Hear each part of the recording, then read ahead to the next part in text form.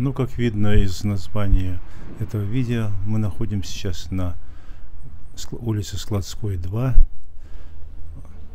на так называемой оптовке или ОРТ. ТО ОРТ ведает этой оптовкой. Площадь, занимаемая этой оптовкой, составляет 6,8 гектара. ТВРТ в основном занимается, насколько э, известно и следует из описания в интернете, предоставлением складских помещений и площадей для оптово-розничной торговли. Ну вот справа мы видим склады, в которых размещены товары, предлагаемые для продажи. Вот мы зашли в один из таких ну, что, возьми. Возьми. назвать магазинов или да, складских помещений, где происходит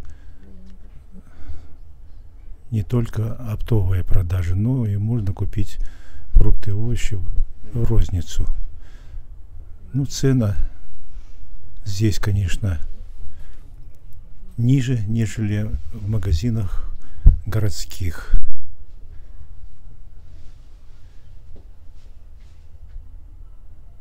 Магазины в городе закупают здесь продукцию оптом и с какой-то наценкой продают покупателям.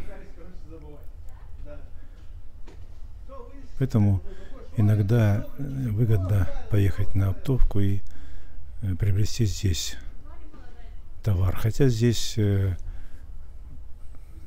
в розницу цены выше, нежели оптовые цены. Поэтому, если покупаешь как минимум ящик товара, тогда на это количество распространяется оптовые цены. А если берешь розницу малым весом, то э, цена увеличивается. Но все равно здесь дешевле.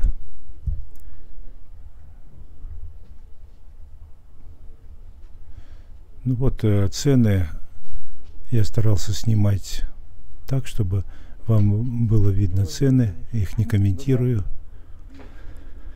Надеюсь, что вы увидите цены.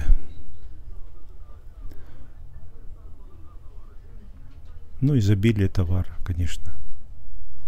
Как видите. Ассортимент большой. Как сухофруктов, так и свежих овощей и фруктов.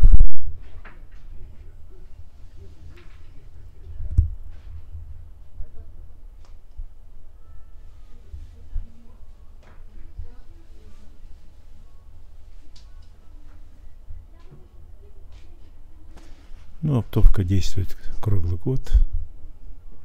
Конечно, ассортимент меняется. В течение зимнего периода. Но это мы вышли на